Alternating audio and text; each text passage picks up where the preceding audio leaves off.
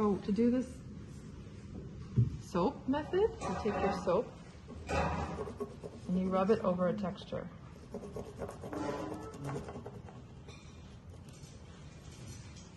Okay, can you see how the soap, the lace texture is showing?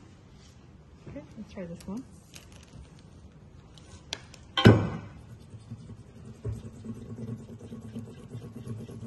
Now it has to be soft, whatever you do, right? You can't use anything sharp or pointy because it can damage the screen, right?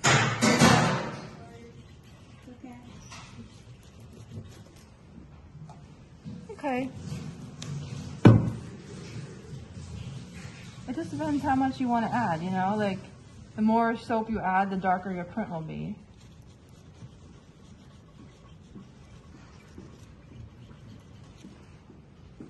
Okay. What was the Put turn it like the inside. On the on the that? Okay. And now, uh, I'm grabbing a scrap piece of paper.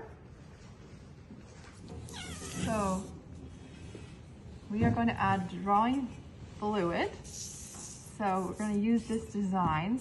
So you basically put your drawing underneath that you want to use and you trace from it. All right, I'm going to have you guys come do this. Grab a brush and you just paint. Now it has to be relatively thick. If it's too thin, it won't work.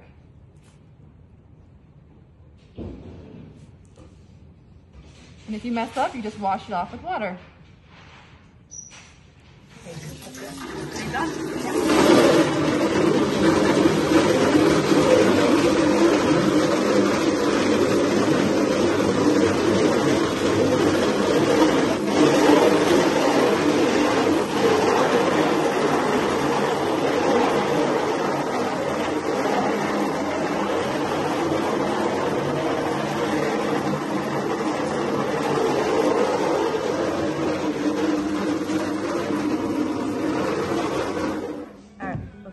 looks.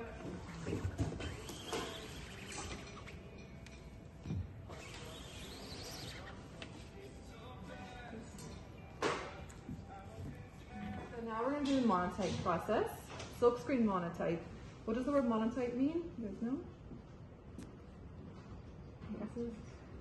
It means one of a kind. Remember doing monotype on Plexi? You can only print one. So these, this type of thing, you can only do one like it, and you can't really repeat it. You can get ghosts, but then it just fades away, and you have to redo it. So we're gonna use watercolors and crayons for this. This is a special water-soluble crayon. Uh, they're from France. They, I brought them here and they were nice and long and pretty and they look like now, but whatever, this will work, it's okay. Um, basically what you do is you draw on here with watercolor or water-soluble crayons. So it has to be water-soluble. Do not use acrylic or anything like that. That will just dry, okay? So just stick to the watercolors in this because I know it works. It won't damage the screen. You draw on it, you let it dry, and then you put transparent base on it, let it kind of soak, and then print it, and it comes through. So the reason we printed this uh, white onto the Mylar is just for registration purposes, because the first one you print is the best one. So you don't want to waste it on the Mylar. Okay, let's get started. I'm gonna have you guys all come around. Ready? Yeah. So you just draw a crayon, and it doesn't matter if it's outside the lines. And then you also paint with watercolor. Um, here I have.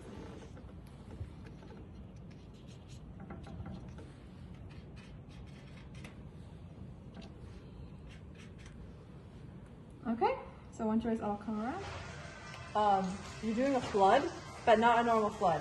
You want to cover it in a thick layer of transparent base, kind of like you're icing a cake. Kind of heavy, I don't want it to spill. So I'm going to try to avoid the other ones, so I'm trying to keep them separate. So you need a lot. You don't do enough, then it won't work. That's good.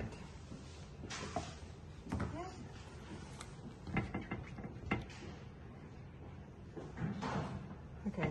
Do you see how I like barely pressing, and it's a thick layer. Can everyone see how it's a shiny, thick layer? And I can even, it won't hurt, just do it like a little, little thicker. That's fine. Okay.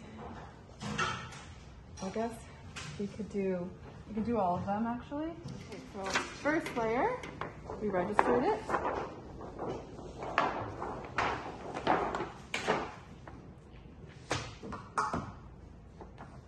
Now you want to make sure you don't get into here because that will get onto your image, right? So I'm going to stay over here.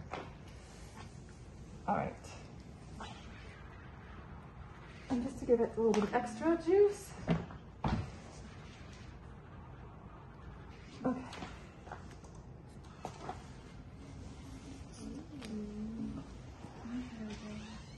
It, so we can do it again. Now you take the leftovers and you put it in this bucket. Because it can actually be reused by the next person. You don't have to use brand new stuff. Especially if your image is really dark, the other colors won't show that much. Then you clean out your screen like normal. You might need smack to get all the colors out. Okay.